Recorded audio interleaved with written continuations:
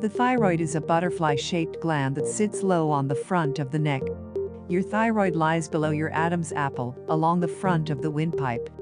The thyroid has two side lobes, connected by a bridge, isthmus, in the middle. Brownish red in color, the thyroid is rich in blood vessels. Nerves important for voice quality also pass through the thyroid. When the thyroid is its normal size, you can't feel it.